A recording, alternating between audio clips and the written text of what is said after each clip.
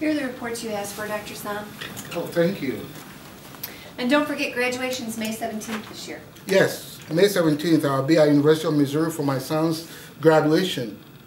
Oh my goodness, it's graduation here too. I can't miss my son's graduation. But I can't miss graduation here at ECC either. Can you rent a car and come back early? I don't think there will be enough time for that. What about catching a flight in between ceremonies? Oh no, there wouldn't be enough time for that either. Hmm. What if...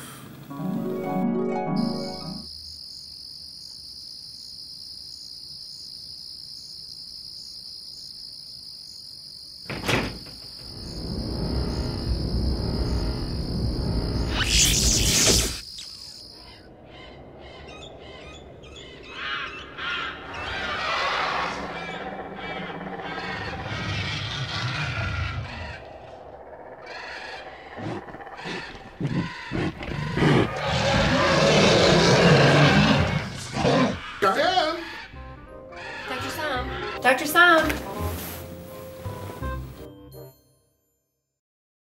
Graduates, congratulations. I'm really sorry I'm not with you to celebrate with you. I've seen many of you go through struggles to get to this day.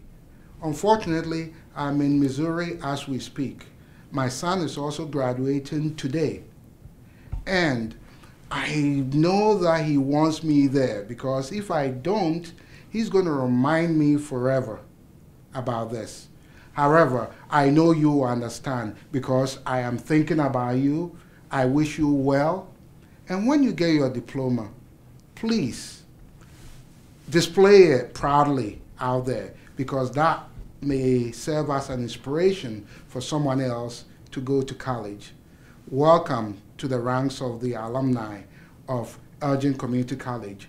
We will always remain your community college. Congratulations, and hopefully I'll get to see you in the community in the near future.